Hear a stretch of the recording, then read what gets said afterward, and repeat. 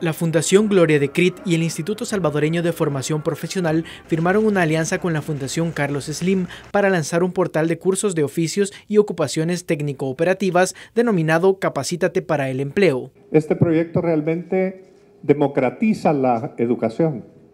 Este proyecto es un proyecto que cualquier persona que tenga un celular, cualquier persona que tenga un smartphone, tenga una tableta o tenga acceso a una computadora, puede accesar hasta el momento 200 cursos certificados por el ITSAFORT, que es lo que le da validez. El empresario Carlos Slim habló sobre lo que significa para su fundación impulsar proyectos de esta naturaleza en la región.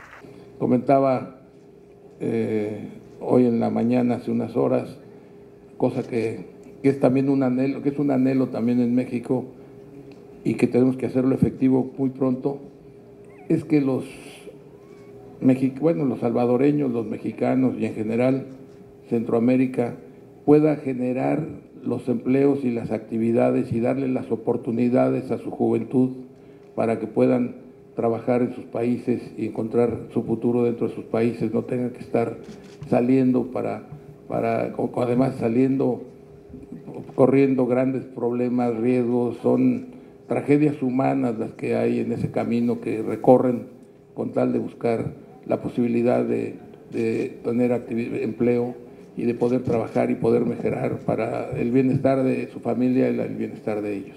Al acto asistió el presidente Nayib Bukele como testigo de honor de la firma.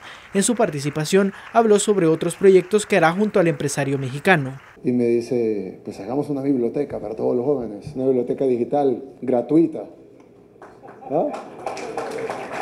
Sí, ah, Hagamos una biblioteca digital gratuita para todos los jóvenes. Y eso implica no solo hacer un lugar que esté abierto para que los jóvenes lleguen y que se conecten y naveguen gratuitamente y hagan se reúnan y hagan sus proyectos, sus estudios y lo que sea, sino que además implica que va a revitalizar el edificio del Telégrafo, que es uno de los edificios más hermosos que tiene El Salvador, y nos obliga a nosotros a estirar la revitalización del centro histórico y llegarla hasta el edificio del Telégrafo.